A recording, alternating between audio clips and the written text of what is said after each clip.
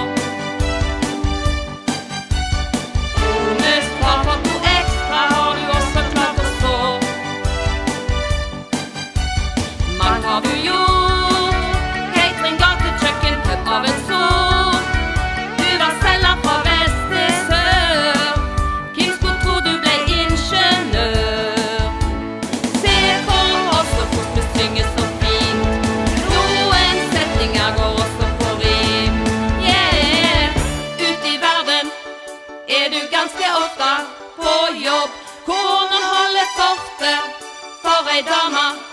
Snill og flott og driftig. En skål må